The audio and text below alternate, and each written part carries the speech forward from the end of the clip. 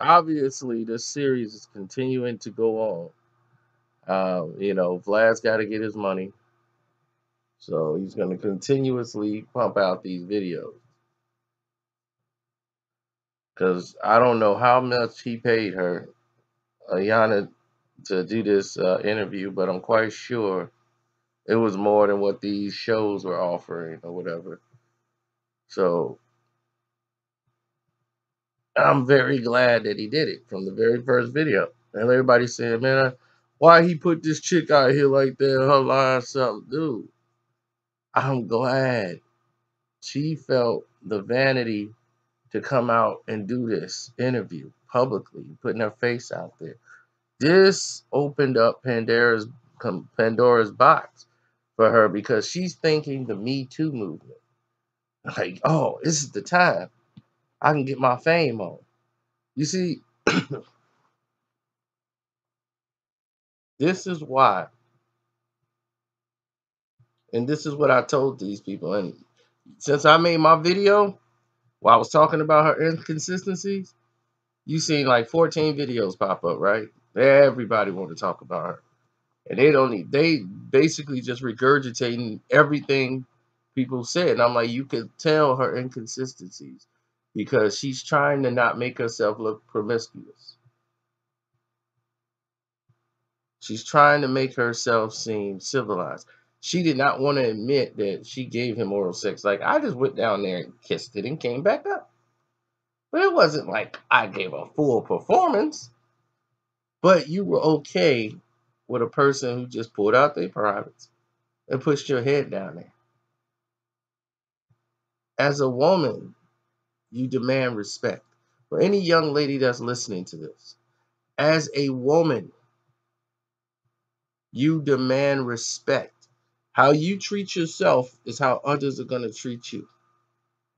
What you allow to happen to yourself is how you're going to be treated.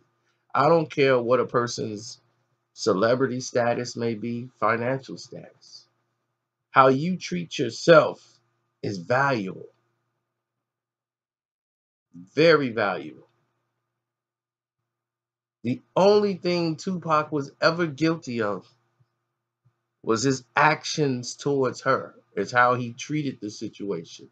I don't think he would have ever been in this situation, like going to jail and all of these things. I don't believe she was pushed in his direction as a setup. I don't believe that. I believe they actually went into this situation just like this is a chick we finna run.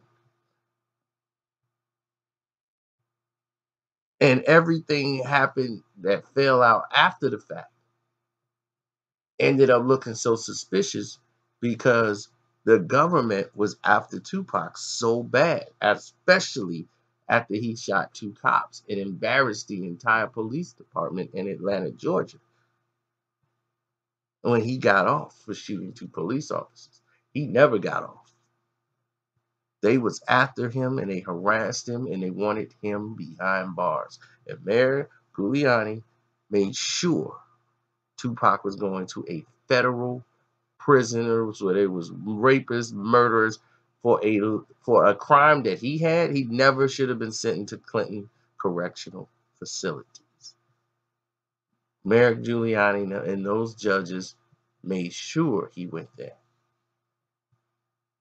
They wanted him to suffer.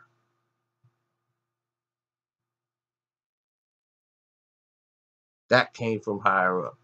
But her involvement in what I believe, just from listening to her story, you could see her struggling to try to find the right words to say that could glorify her or keep her image up as she's faking a lot of this, faking emotion, and she's stopped talking and everything. And he's, oh, we could take a break. She's not even crying. Not a tear coming out her eye.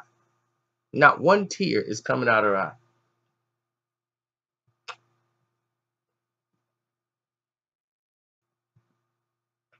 See, this is what you don't understand. I was sent a, a letter or uh, email. This lady's talking about, like, how could you just turn this is the same thing they doing, being dismissive. And just because Tupac is a rapper doesn't mean he didn't do it. We went there, blah, blah, blah. And she put hashtag me too. This is not an attack on the Me Too movement. But have you seen the Me Too movement support anything black? Just saying. There have been other blacks that's been harassed and put Me Too. I mean, Terry Crews is about three two seventy five solid muscle. And he said a white guy touched his private parts. And he didn't touch him because of his position in Hollywood. So he said, Oh, me too. And then years later you want to go file a police report against the guy. You know, that was the only black guy I ever heard. But at all these marches is all these failed actresses or a couple of actresses whose career is not really going anywhere. So, you know, they want to go out and now complain about some things and just poke their nose in situations that they don't even know anything about. But they want to speak up against it. Because anybody make an accusation, they just run behind it. There's no investigation, there's no due process. It's all accusation, conviction. And if that's a Me Too movement, then I'm not a part of that. Can't eliminate due process. So when she's trying to rally behind this Me Too thing, she put her face out here so the whole general public can see her and she can be known so people can gravitate around her. And I'm not letting her get away with that without people being informed of the situation. Now, Tupac wakes up just like he said he did. He was on the couch, he woke up and he did what he did supposedly and left and her her actions in these situations and what she's saying that happened it's like this night would not go away for you you see what I'm saying? This night will not go away from you because it was such a monumental moment in your life. You will remember it like a movie you watched a thousand times. You remember every little detail. You remember every little thing that did or did not happen that night.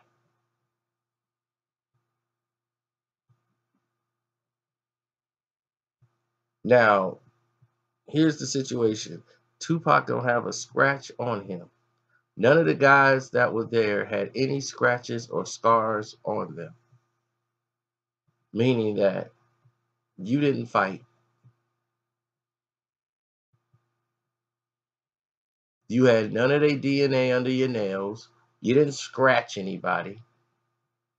So when Tupac got up and left the room, and you were with the other guys, why come the guy that you claim that didn't touch you and said, I didn't want to do this to you and this and that? Now you're saying he didn't do anything, but he was charged too with the whole entire incident with everybody else. And this is why I say you got to be careful in these situations because you could be put in a situation that you didn't even have no none on your brain says, let me do these things, and you're put in a bad environment right away. I've seen a lot of people go down for things that didn't make any sense.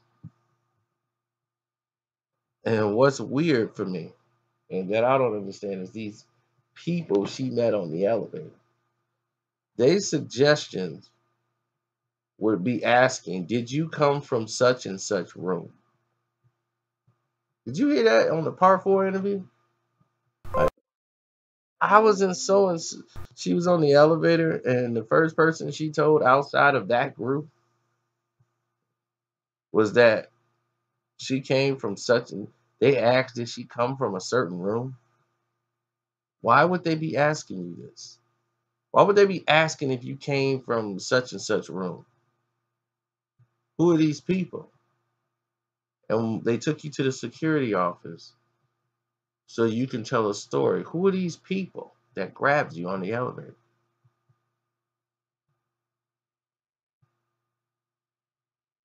And why wouldn't they say, let me, oh my God, let's get her help. Let's get her to the police and get her down to the security office on the floor.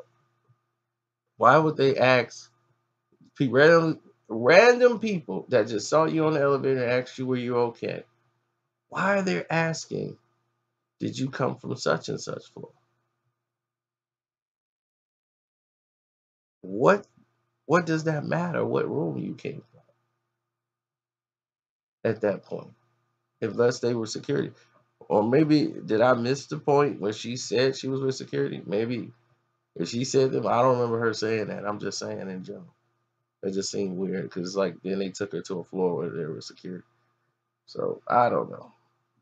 But I think she's doing this on purpose and trying to omit situations to make her look good. And that's not good in this case.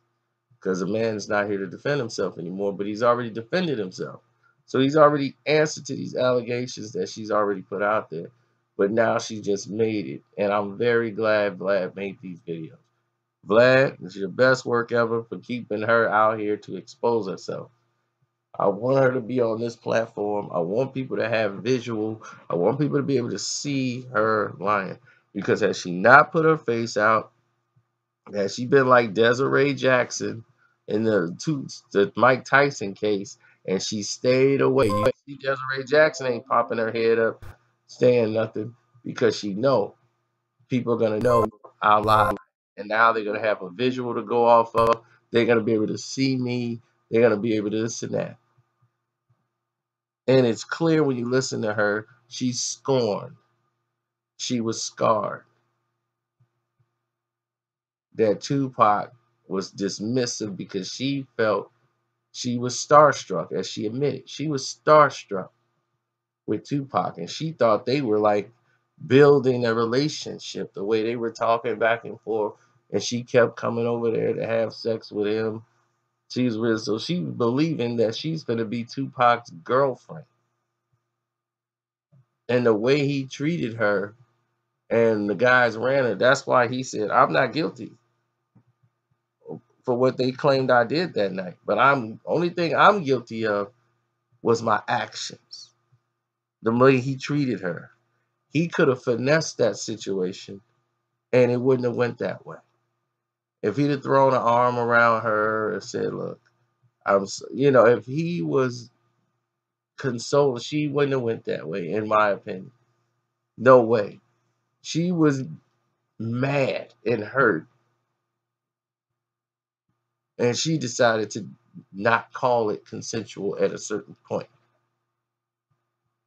Now I don't think it's consensual because he's treating me like an animal now. I thought he cared. So yeah, it's rape now. You see? That's evil. And there's a lot of people gone up the river over situations like this.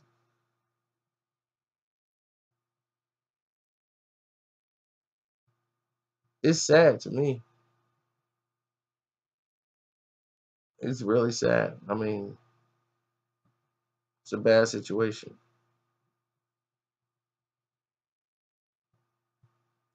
Because we don't know what would have happened in that situation. Let's say that Tupac don't go, you know, the, this whole thing don't happen. He doesn't get shot in New York. He don't have a problem with New York. There's no hit him up. Biggie's still alive.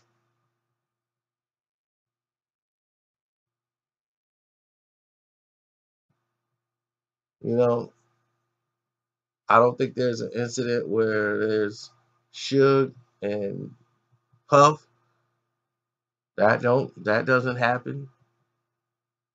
This incident caused so many chain reactions. It could have fixed everything in hip hop. That's how monumental this case was. When Tupac went to jail because of this situation, it it changed the hip hop world forever. So without her even knowing what she did, she single-handedly changed an entire culture in hip hop. One chain reaction event led to another. Weeks later, the people Tupac had distrust. He was more paranoid than ever because now he couldn't trust the people he was around after he just got shot. Thug life breaks up. All this stuff happens. Circled around that entire incident.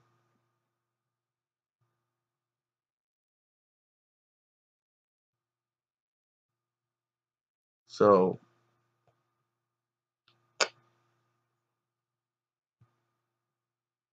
that's my take on it, man. I mean, for young women and y'all listening to this, treat yourselves with some more respect.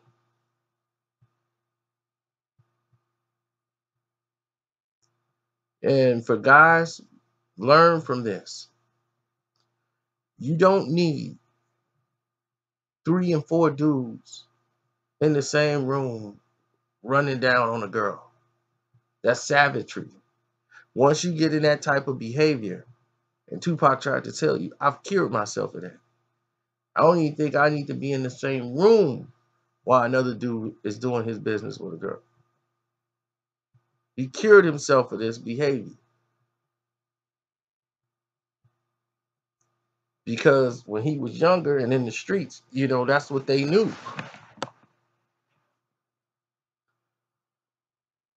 They wasn't taught anything. They were they grew up in the streets. Tupac grew up in the streets. So this is the mentality. Until something like this happen, when you go up to a higher level of status, and you still have the street mentality. These are the things they that comes back to haunt you.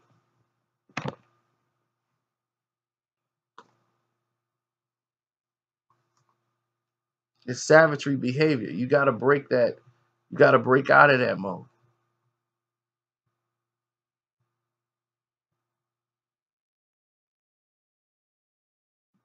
So, young ladies, definitely show respect for yourself. You're a woman. Take care of yourself. You know, hold the way you treat yourself is the way a man is going to respond to you.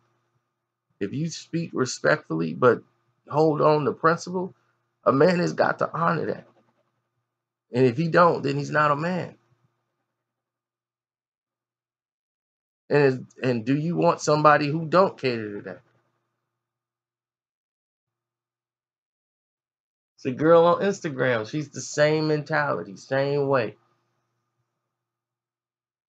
She thought she, this is her problem.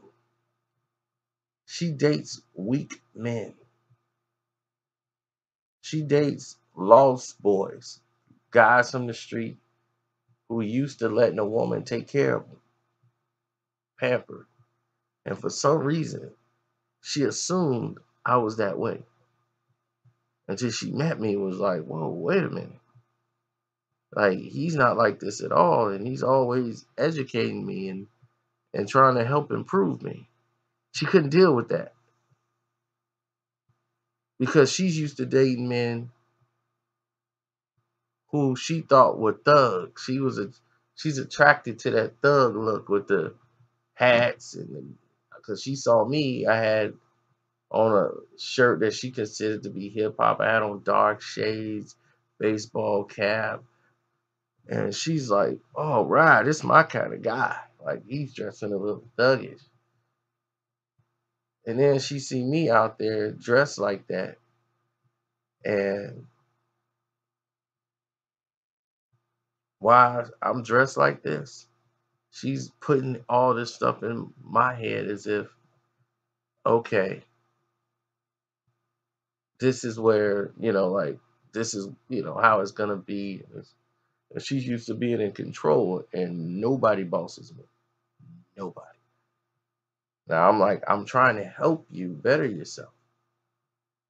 I'm telling you things that you do wrong so that you can improve off of it and get better see that's what you want somebody that could be an extension to you not somebody that could be a detraction so definitely you you want to have something that you want that you know like this is what I want out of life. If not, I'm not gonna settle and be miserable just because you know you, you stack. I'm gonna put up with this, and then next thing you know, you are arguing, and it's more problems. You you take care of it right there, so it don't become this problem later on. But it is what it is, man. She went her direction, I went mine. We still cool, but what happened? She went and got another guy who dresses like he does, but he needs her to take care of him, and she likes having that control over men. But that's not gonna happen with me, and she knew that. And all her flaws, she's still there. She don't want to improve off of them. She liked the fact that she's flawed like that and wants to stay in that zone of non no betterment for herself. What what's happening and she don't realize is that you're getting older. And then one of the time, one of these days, you're gonna end up marrying one of these guys. And then are you really gonna want a guy who not really doing anything for themselves? and you make more money than him and you got to pay for everything and he just stay at the crib all day or doing whatever you want him to do you having a guy under your thumb it's to get you. it's to weigh on you and then you're to be miserable so you got to understand what you want out of life and go for it i'm out i ain't mean to make it this long but it end up being this long. But take care of yourselves and don't forget to subscribe in case you didn't already. I'm out.